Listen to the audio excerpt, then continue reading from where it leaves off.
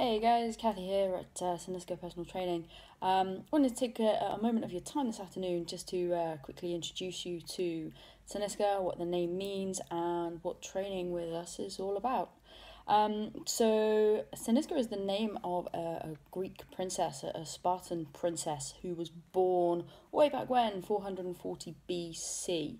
Um, she's really quite an important woman in history as she was the first woman to win Olympic uh, gold medals at the ancient Olympics. She actually won it twice, uh, 396 BC and 392 BC.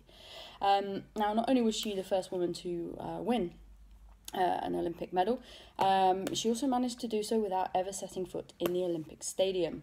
Um, Greek women were not allowed to enter the Olympic Stadium as the sports uh, and sporting events were predominantly um, performed naked. So um, yeah, the, the girls were banned, uh, and it was a very macho, masculine, masculine event. Um, so yeah, a, a, massive achievement for her to uh, to win these medals, and she did so by training training horses for the chariot uh, racing. Hence our little logo here uh, with our weight plate slash chariot wheel.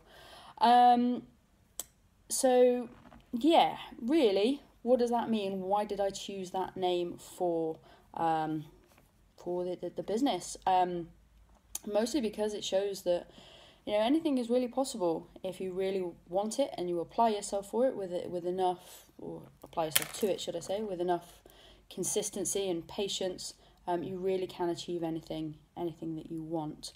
Um, so how does that carry over into to training? Well, um, you know, here we, we base our goals and our training program around um, performance, um, learning new skills, um, stuff that you can carry over into day to day life, and it's, it's less focused around weight loss um, and aesthetic goals. That uh, mostly comes um, as a byproduct, really, of just being able to uh, move better and perform better, um, filling in all those those gaps of things that we miss um, in everyday everyday life now.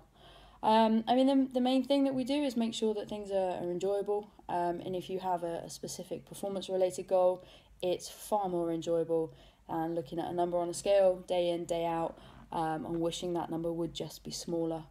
Um, if you want a bit more information, then please do feel free to give me a, a call, pop me a message, and check out the website. Um, you'll also find lots of helpful videos coming up onto the YouTube channel in the coming uh, weeks and months. So have a little look there, hit the subscribe button, um, and I will speak to you again soon. Thanks, guys. Take care.